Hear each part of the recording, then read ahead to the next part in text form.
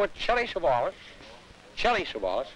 There's a very wonderful Clint Eastwood, young, young star that you're gonna really, really, really love. and let's let's hear it for him now. All you trees and monkeys, a couple of chestnuts, jump up in the air when I bring this wonderful young star, this youngster, six nine, no body, no legs, just six nine. You're gonna see him right here on our grass. Very wonderful, wonderful star. What is your name again? Oh yeah, very wonderful star. Let's hear for Mr. Clint Eastwood. Clint. This is, of course, ladies and gentlemen, uh, Clint Eastwood, a wonderful star. Clint, we've been on the picture now for with you about two days, and I want to say, on behalf of the whole cast, Clint, I'm fed up.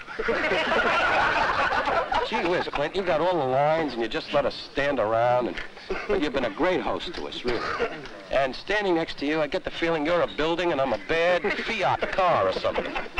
But you're a marvelous guy. Telly Savalas, your co-star, said to me tonight uh, at dinner. Man is cracking up. Well, he's staying at the Parco, you know, I don't know. That's a different hotel. A different hotel. Let me ask you this. Do you, do you feel, do you feel in your part, you, I mean, the role of Kelly, have you, have you given it some thought? Clint. Clint, over here, Clint, where are you? What script are we talking about anyway? How long have you had that problem, Clint? The, uh, The, the, no, the picture, the picture of the Warriors, seriously speaking, I mean, basically, I read the script, and you read the script, and now that we've both read it, let's get on a plane and go home. I think it's bad. No, the Warriors, Clint Eastwood is the star, Telly Savalas is the other star. I'm uh, getting star billing, but I'm not in it. Uh, I have the part of Crap Game. He plays Kelly, and Telly Savalas plays Big Joe, which I think is an original name for soldier. Yeah, And he's marvelous. Uh, Telly isn't with us today, unfortunately. He's downtown running around saying to the Yugoslavian soldiers, I'm Big Joe. and people are saying, who cares, moron? But you've been great, Clint. Uh, how long have you been in uh, motion pictures? Clint. Is this another an hour. loaded That- jobs? Or, uh, that's a good one. About Clint- 16 years. Clint got off a ripper there, folks.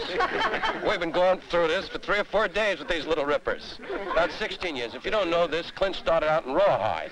He was the one that kept saying, yaha, yaha. And a producer one day said, get the dumbbell that's yelling yaha. And they, they hired Clint. And then he went to Italy and did a movie where you paid the company, I believe, in lira. And he did uh, 25,000 pounds of dollars, hang 'em low and high and swing 'em left to your right.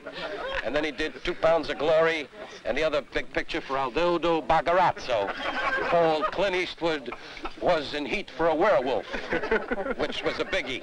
And then he met Brian Hutton, our nine-year-old director, who is not here today, unfortunately. He's over on the set telling his friends the parts they have. Well, Brian Hutton's a great director. He's the one that said to Richard Burton one afternoon, Richard! As Richard was driving away. But he's a wonderful director. We'd have him on now, folks, but this is Betty time. And he's not allowed to stay up late. Clint, it was so great talking with you. Once again, you've shown the folks what a big bang-up star you are. Don't forget, folks, when you see Clint Eastwood in your local drive-in theaters, drive right into the screen. Come on, Clint. Oh,